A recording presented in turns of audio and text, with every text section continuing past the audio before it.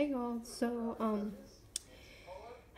two days ago I uh, popped my knee.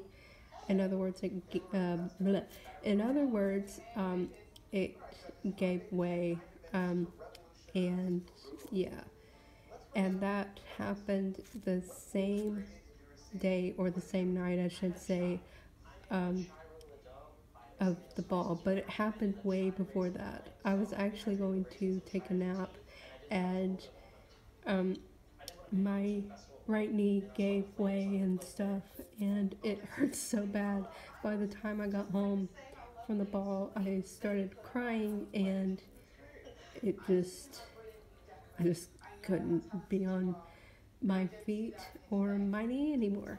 So the very next day, I got um, I got the knee brace out and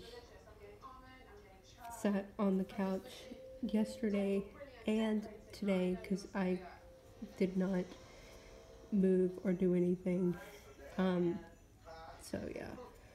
Um, also, I posted another photo onto Instagram, so go check that out. By the way.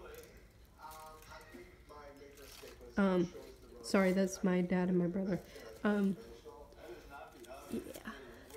Um, I hope you guys um, enjoyed this video and thank you guys so much for watching and please comment, subscribe.